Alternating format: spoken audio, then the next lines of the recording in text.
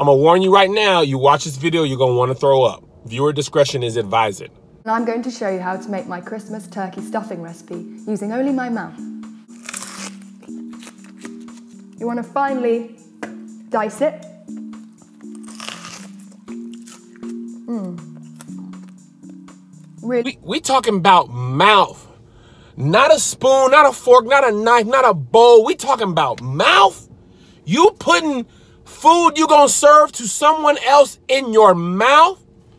I don't know where your mouth has been. Your mouth could have been anywhere. I don't know if you was coming home drunk from school. having oral sex with my mouth, licking his balls. You could have been licking them balls. And now you want to put the food in your mouth that you gonna chop up? You ain't got knifes? What's wrong with you? What's wrong with your knifes? After she mouth chopped that onion, look at her nose and look at how runny it is. Oh, you're nasty. This really isn't that new for birds. Birds do this for baby birds, and that's why birds doo-doo uncontrollably. Because they done had somebody else food in their mouth, it done liquefied their organs. They can't control the doo-doo shoot. This really gets gross when she puts a raw egg in her mouth. A raw egg. She's spitting in y'all food. Okay, we worried about the cook in the back of the restaurant upset because you asked for your steak well done and it's black. And now this lady like, no, I don't need no knife. I'm gonna put this in the gingivitis of my mouth and spit it out. Look at when she puts this butter in her mouth. You can see the spit transfer in the butter. I'm gonna be sick.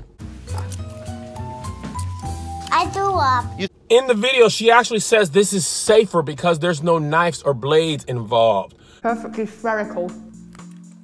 No bread knives, no blades. A very, very safe stuffing. But what about the fact that you put food in your mouth and spit it into a bowl and massage it with your hands? What about that is safe or hygienic? Okay, you didn't cut your finger off, but I'm finna die. I'm finna die. This is why I don't do work potlucks.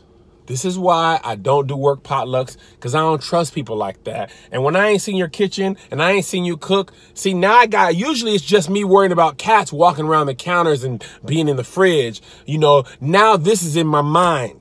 Okay. Now I, I yeah, I'm cool. I'm just, I ate already.